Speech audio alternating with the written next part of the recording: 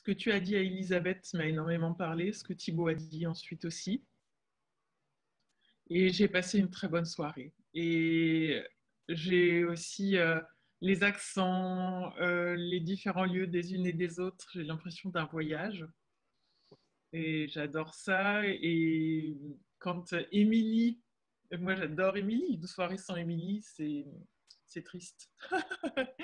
et, euh, et, quand voilà, Céline, Émilie, euh, j'adore vous écouter. Merci beaucoup pour cette belle soirée.